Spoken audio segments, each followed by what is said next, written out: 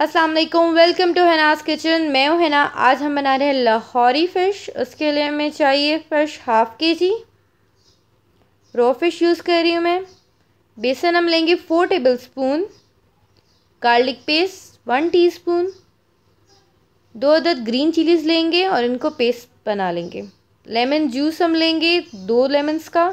Red chilli powder हम लेंगे one teaspoon भुना हुआ ज़ीरा पाउडर हम लेंगे वन टीस्पून पेपरिका पाउडर हम लेंगे one four teaspoon dry धनिया और अनारदाना का मैंने वन वन टेबल स्पून लेकर उनको कूट कर हम ये ले लेंगे टू टेबल स्पून एक अदद हम एग लेंगे। अजवाइन हम लेंगे वन फोर टी स्पून हल्दी हम लेंगे one four teaspoon black नमक यानी काला नमक हम लेंगे वन फोर टी स्पून नमक हम लेंगे हसबे ज़रूरत धनिया पाउडर हम लेंगे वन टेबल स्पून सूंठ पाउडर लेंगे हम, यानी ginger powder one four teaspoon marination ready कर लेंगे लेमन जूस शामिल करेंगे. ग्रीन चिली पेस्ट शामिल करेंगे. Garlic paste red chili powder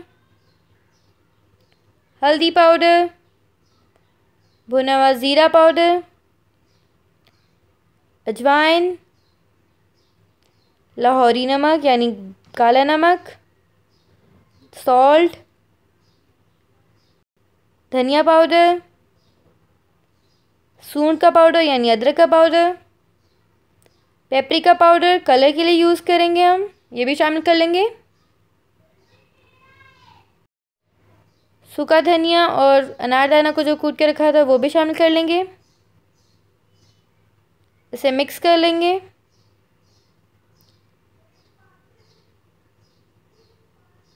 इसके बाद हम इसमें शामिल करेंगे एक अंडा। इसे भी मिक्स कर लेंगे।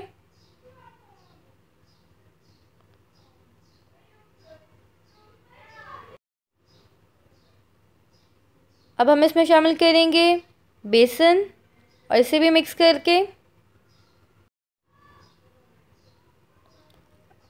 थोड़ा थिक है, इसमें हम वन टेबल स्पून वाटर शामिल कर देंगे वन से टू टेबल स्पून और इसे मिक्स कर लेते हैं। फ़िश पीसीस को मैरिनेट कर लेंगे। आप अगर चाहें तो पीसीस बड़े रख सकते हैं या इससे भी छोटे कर सकते हैं। इसी बैटर को आप फ़िश फिंगर फ्राइज़ में भी यूज़ कर सकते हैं। लाहौरी फ़िश स्पाइसी मसाला बहुत होता है, आप अगर चाहें तो कम या ज़्यादा कर सकते हैं। मैंने नॉर्मल ही किया है। मैक्सिमम हम इसे दो से तीन घंटे मैरिनेट करके रख सकते हैं। मैं रखूँगी दो घंटे के लिए।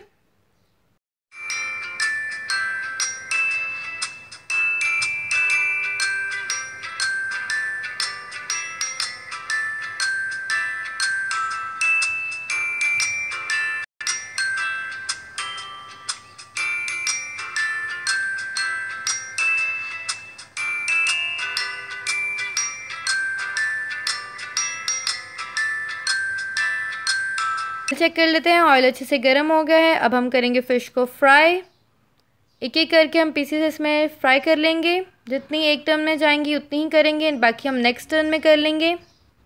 एक साथ सारा भर नहीं देंगे।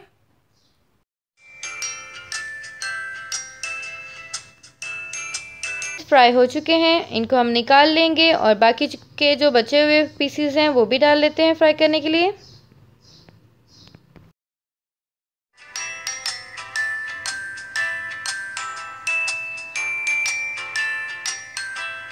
बचे हुए पीसेस को भी फ्राई कर लेंगे और इनको फ्राई करके हम डिश आउट कर लेंगे। रेडी है। अगर आपको रेसिपी पसंद आई हो तो इस वीडियो को लाइक कीजिए और शेयर भी कीजिए। आपको ये रेसिपी कैसी लगी मुझे कमेंट करके ज़रूर बताइएगा। मेरे चैनल को सब्सक्राइब करें, मेरे चैनल को सपोर्ट करें। अपना ध्यान रखिएगा, मुझे दुआ में याद रखिएगा। अल्लाह हाफिज़ and thank you for watching the video